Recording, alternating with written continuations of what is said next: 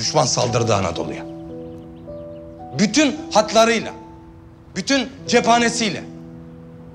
İzmir'e çıkmak gibi bir gaflette bulundu. Yok dedi 23 yaşında biri. Biliyorsunuz çok iyi kim olduğunu. Yörük Ali.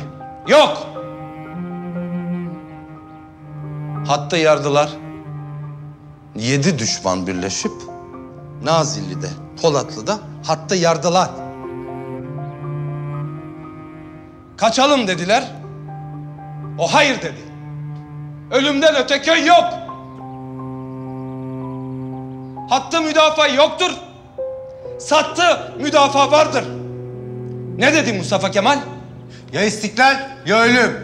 Ya istiklal ya ölüm.